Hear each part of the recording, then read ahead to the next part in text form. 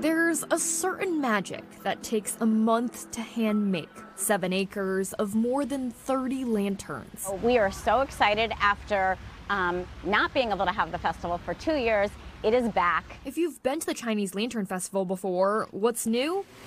This time, there will be fountain shows, performances each night, more food and drink options. So every section of this park has a different theme, and you can clearly tell we're in the red lanterns right now. But back there near the fountains, we've got some sea life, there's a flower tunnel, and even a little place for pandas. We think uh, Philadelphia is, is a very big city and uh, there are many Chinese people, you know, we want to make them feel home. Program manager Lu Liang brings the show to Philly from her hometown, Sichuan in southwest China. It's known as the birthplace of Chinese lanterns. With her comes a huge crew of artists to paint all of these by hand. There's no specialized uh, uh, teaching institution. It's just uh, passing down from generation to generation. And it's not just arts and culture. The festival's mission to boost local businesses. We know that this time during the pandemic was especially hard for Chinatown and the community.